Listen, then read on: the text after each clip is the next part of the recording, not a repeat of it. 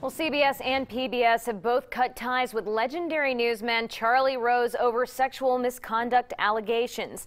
As we first told you Monday at 5, eight women who either worked for Rose or who tried to work for him on his PBS program came forward to the Washington Post accusing him of sexual misconduct.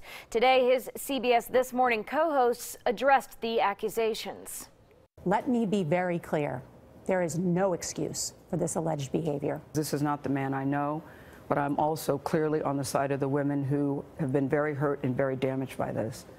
In a statement, CBS News President David Rhodes said, quote, despite Charlie's important journalistic contribution to our news division, there's absolutely nothing more important in this or any organization than ensuring a safe, professional workplace. The Washington Post says more than a dozen other women have reached out to share their stories about Rose since that article was first published.